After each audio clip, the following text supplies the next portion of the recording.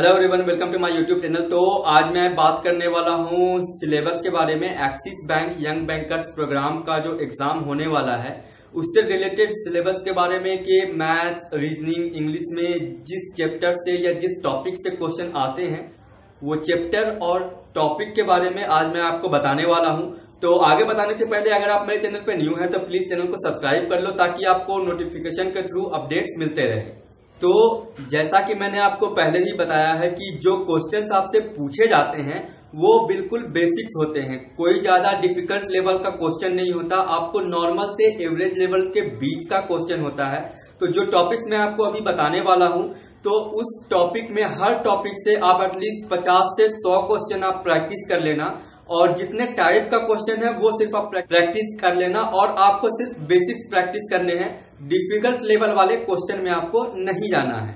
तो सबसे पहले बात करते हैं रीजनिंग की। तो रीजनिंग में जो क्वेश्चन आते हैं, वो ज़्यादातर क्वेश्चन आते हैं आपके coding decoding direction and distances blood relation के क्वेश्चन आपको होते हैं। उसके बाद साइलोजिज्म के क्वेश्चन आपको होते हैं।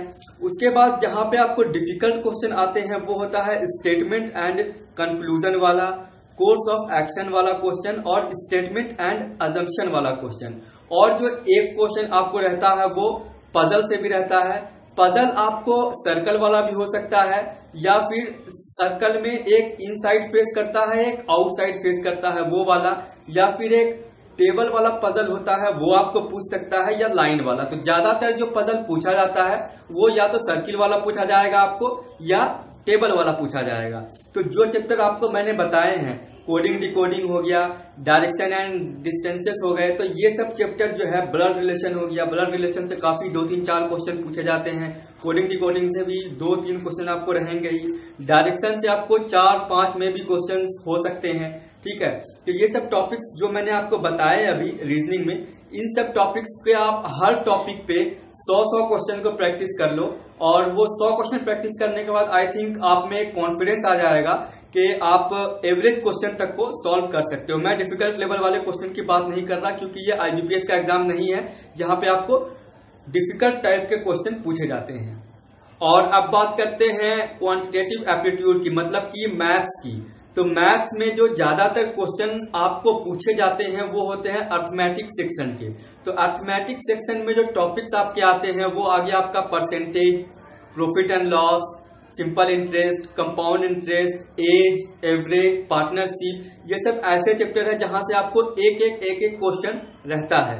ठीक है? उसके बाद आपका पाँच क्वेश्चन अगर रहेगा तो डीआई से पाँच या तीन क्वेश्चन डेटा इंटरप्रिटेशन बट आपको ज़्यादा फोकस करना है अर्थमेटिक वाले टॉपिक पे, क्योंकि ये पाँच, छह, सात टॉपिक जो मैंने आपको बताया एक आपका परसेंटेज हो गया। सिंपल इंटरेस्ट कंपाउंड इंटरेस्ट से क्वेश्चन रहेगा ही रहेगा। प्रॉफिट एंड लॉस से क्वेश्चन आना ही है इसमें। पार्टनरशिप एज एवरेज ये सबसे क्वेश्चन आपको आएगा ही। चाहे वो एक्सिस बैंक का एग्ज़ाम हो, या एच का हो, या आईसीआईसीआई का हो, इन सारे चैप्टर से क्वेश्चन आते ही हैं। तो सारे टॉपिक्स के आप एटलीस्ट सेवेंटी एटी या अप्रॉक्स हंड्रेड के आसपास आप प्रैक्टिस कर लेना। तो आपके जो बेसिक्स हैं वो क्लियर हो जाते हैं और कोई बहुत ज़्यादा आपको डिफ़िकल्ट नहीं पूछा जाता है। आपका बस चेक किया जाता है कि आप कितने कम टाइम में क्वेश्चन को सॉल्व कर सकते हो। तो क्वेश्चन आपको ऐसे नहीं रहते जहाँ पे आपको दो मिनट या ढाई मिनट आपको लगेंगे। वो क्वेश्चन ऐसे होते हैं कि विद इन वन मिनट आपके सॉल्व हो सकते हैं। और सिंप्लीफिकेशन अप्रोक्सीमेशन का भी एक, दो क्वेश्चन या दो, तीन क्वेश्चन आपको रह सकता है, जहाँ पे सिर्फ़ गुना, भाग, ये सब करना है। मतलब कि ब्रैकेट के अंदर जो रहता है डिजिट वगैरह, उसको उससे मल्टीप्लाई करके मतलब लास्ट में एक वैल्यू निकालना होता है। तो ओवरऑल आपको अर्थमेटिक पे ज़्यादा फोकस करना है। डीआई आप कर लेना प्रैक्टिस बस जब आपका अर्थमेटिक कंप्लीट हो जाए तो फिर डीआई पे आना क्योंकि डीआई के क्वेश्चन थोड़ा सा कैलकुलेटिव होते हैं, जहाँ पे वो आपका टाइम खींच सकते हैं। वो टाइम कंज्यूमिंग क्वेश्चन होते हैं तो आप कोशिश करना पहले अर्थमेटिक को सॉल्व कर लो, फिर आप डीआई पे आओ। और अब बात करते हैं इंग्लिश सेक्शन की, जहाँ पे बहुत स्टूडेंट मतलब मोस्ट ऑफ़ द स्टूडेंट्स को प्रॉब्लम होता है। तो इसमें आप देख लो, आप इसमें ज़्यादा कुछ मत करो। आप डेली रीडिंग हैबिट डाल लो एटलीस्ट एक घंटा कोई भी इंग्लिश न्यूज़पेपर हो, या फिर आप ऑनलाइन कुछ भी स्टडी कर सकते हो, या कोई न्यूज़ है, आप उसको इंग्लिश में रीड करो। तो एक आपकी रीडिंग हैबिट होगी। दूसरा है, आप न्यू न्यू वर्ड वहाँ से सीखोगे, क्योंकि इसमें सिर्फ़ और सिर्फ़ वही आपको पूछा जाता है, जो मैं अभी आपको बता रहा हूँ। एक सेंटेंस फिलर का क्वेश्चन आता है कि दो लाइन या एक लाइन या तीन लाइन का आपको एक सेंटेंस दिया हुआ होगा। उसमें बीच में एक गैप होगा फिल इन द ब्लैंक्स चार या पाँच ऑप्शन आपको होंगे। वहाँ पे कौन सा वर्ड सुटेबल होगा? कौन सा वर्ड वहाँ पे बेस्ट फिट होगा? वो आपको करना है। तो जब तक आप उस सेंटेंस को समझोगे नहीं कि वो क्या कह रहा है, तब और वो जो चार ऑप्शन आपको दिया गया होगा, जो वर्ड का, जब तक उसका आपको मीनिंग नहीं पता होगा तो आप वहाँ पर वो सेट नहीं कर पाओगे। तो यहाँ पे आपकी अंडरस्टैंडिंग अच्छी होनी चाहिए और आपको वर्ड का मीनिंग भी पता होना चाहिए। यानी कि आपके पास वर्ड स्टॉक भी होना चाहिए। दूसरा आता है आपका सेंटेंस अरेंजमेंट्स का। ये आपका पूछा ही जाएगा। पाँच सेंटेंस या सात सेंटेंस होगा A B C D E F करके। ठीक है, या ए बी सी डी ई उसमें क्या होता है? ये डिस अरेंज वे में होता है। आपको इसको सही अरेंज करना है। ठीक है, कि कौन सा सेंटेंस पहले आएगा, उसके बाद सेकेंड में कौन सा आएगा, उसके बाद थर्ड में कौन सा आएगा। अगर आपने आईबीपीएस या किसी भी बैंकिंग एग्ज़ाम आपने दिया होगा कोई भी तो आपको पता होगा कि सेंटेंस अरेंजमेंट क्या होता है।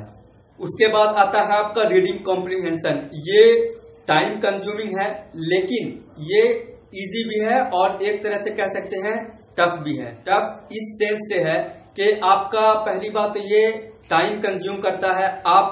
आपको एक पैसेज दिया रहता है, वो पूरे पैसेज को आपको पढ़ना होता है। उस पैसेज से रिलेटेड आपको पाँच क्वेश्चन होते हैं और वो पाँच क्वेश्चंस का आपको आंसर फिर पैसेज में ढूंढना होता है। तो जब तक आपकी रीडिंग हैबिट नहीं होगी तो पैसेज आपने एक बार पढ़ लिया। पढ़ने के बाद फिर आप कहीं ना कहीं अगर आपकी रीडिंग हैबिट होगी तो जो पैसेज आपने पढ़ा है, आपके माइंड में कहीं ना कहीं होगा। तो जब आप उससे रिलेटेड क्वेश्चन पढ़ोगे तो आप ऑटोमेटिकली आपको जो ऑप्शन होगा आंसर में वो आपको दिख जाएगा। तो ये आपके रीडिंग हैबिट से आएगी। तो यहाँ पे आप स्कोर कर सकते हो और इजी क्वेश्चन होते हैं क्योंकि आपको पैसेज में ही आंसर दिया हुआ होता है। तो तीन टॉपिक मैंने आपको बता दिए। एक बता दिया सेंटेंस फिलर एक बता दिया सेंटेंस अरेंजमेंट एक बता दिया रीडिंग कॉम्प्रिहेंशन जिसको पैसेज वाला क्वेश्चन भी आप बोल सकते हो। और एक आता है जो कि सेंटेंस एरर वाला होता है। पाँच सेंटेंस आपको दिया रहता है ए बी सी डी ई करके। और जो कि आप यहाँ स्क्रीन पे भी देख सकते हैं, ये क्वेश्चन दिया हुआ है। तो इसमें से कौन से सेक्शन में एरर है? ये एरर किसी वर्ड में भी हो सकता है या किसी वर्ब में हो सकता है। तो जब तक आप रीडिंग की हैबिट नहीं डालेंगे ओवरऑल आपको सेंटेंस का जो एक सेंटेंस का आपको स्ट्रक्चर नहीं पता होगा तो आप इसमें एरर को फाइंड नहीं कर पाओगे।